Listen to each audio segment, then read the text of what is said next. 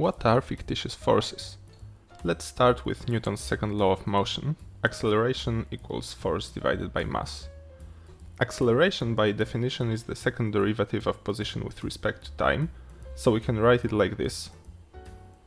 The time derivatives are often denoted with dots above, so we could write this like so as well. Or if we write this in Cartesian coordinates, it will look like this. The e hats are so-called versors. They are just unit vectors along the respective coordinate axis. The term multiplying ex is the x component of the acceleration, the one multiplying ey is the y component, and same for z. Now imagine we want to use another set of coordinates, still Cartesian, but rotating relative to the first set. We'll call this new set x prime, y prime, z prime, and they will be defined like so and the reverse transformation will look like this. Omega is the angular speed of rotation here. As time is passing, omega t will grow and the cosine of omega t and sine of omega t will be changing periodically. A point with constant prime coordinates will thus be making circles in the non-primed coordinates and vice versa. If we now express the derivative of x, y, z by derivatives of x prime, y prime, z prime, we'll get something like this. And if you're interested in more details, I've put a link to a more detailed derivation in the description. This bunch of stuff on the right hand side appears because the coordinates x prime, y prime, z prime are changing in time, and so time derivatives, let's say, drop additional terms. In these new coordinates, we'd still like to call the part that looks the same as before the acceleration, so this bunch of stuff that appeared doesn't belong there, and we move it to the left hand side. We call this bunch of stuff fictitious forces. Fictitious because they appeared as artifacts of the coordinate transformation. They aren't caused by any real interaction, they are there only because of our choice of coordinates. If we write this bunch of stuff explicitly, it will look like this.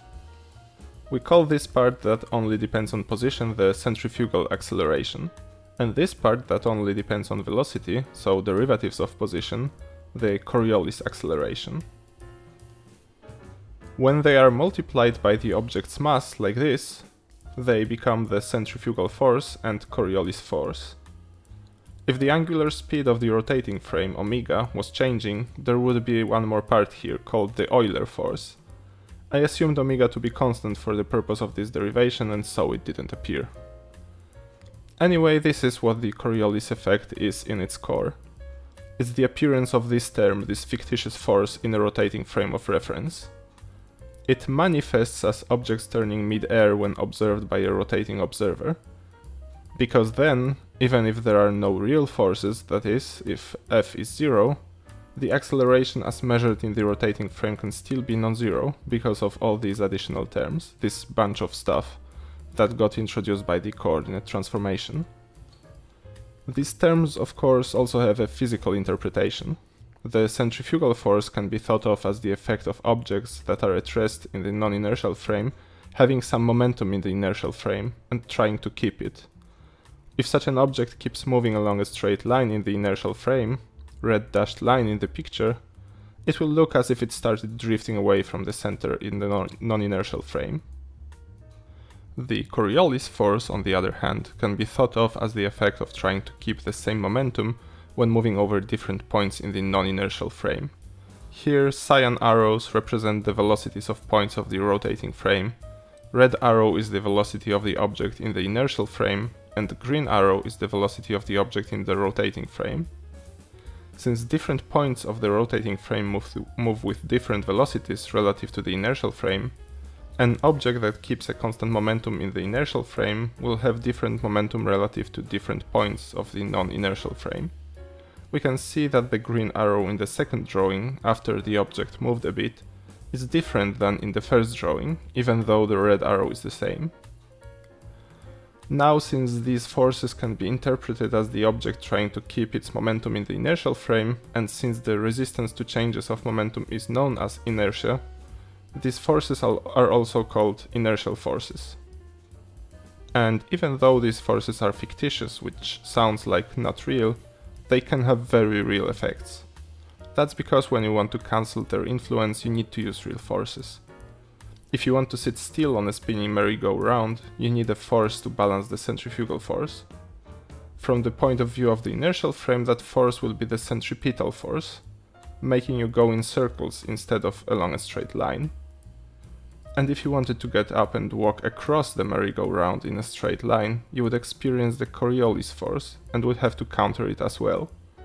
In an inertial frame, your path wouldn't look straight, and that would be precisely because of the force you were applying.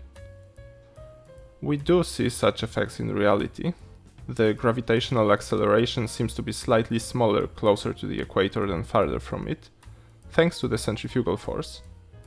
Moving masses of air get deflected by the Coriolis force, creating cyclones spinning counterclockwise north of the equator and clockwise south of it. Pendulums that are isolated from outside forces still drift precisely the way implied by the Coriolis effect. Long-range ballistics has adjustments for Coriolis. There is also a measurable Eötvös effect, the weight of objects changes in east-west motion, which is also partially caused by the Coriolis force. Whenever there is a situation in which the Coriolis effect is expected to be significant, we find that it is indeed so. And all of that happens because if we use coordinates relative to the surface of the Earth, then these coordinates are actually rotating. Thanks for watching and see you in the next one.